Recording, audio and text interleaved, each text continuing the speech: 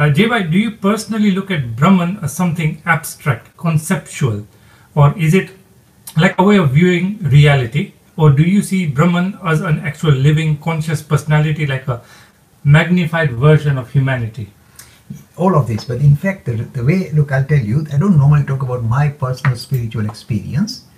It is something that is not intellectualized. Suppose I say, okay, now I'm, let me view Brahman as, you know, with qualities and attributes and, and form, etc. Or let me view it, Brahman as the creation, etc. In reality, the only way you can validate or really come to terms with Brahman is first an encounter. That's the only way. The only thing I say is this, when you hit that, Suddenly the whole creation, including everything, appears to be sweeter than the sweetest. The word they use in Sanskrit, priya, sweeter than the sweetest, not pleasurable.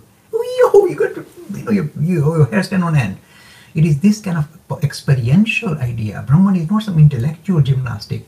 It's not something you believe and then you kind of focus on this, I must view the world in this way you are hit by it. When you are hit by it, you the whole perspective changes, and even the intellect appears kind of trivial. Your mind appears trivial. You will be surprised. You don't even become mindless, but you see mind is oh, like a fluff. Yoo-hoo.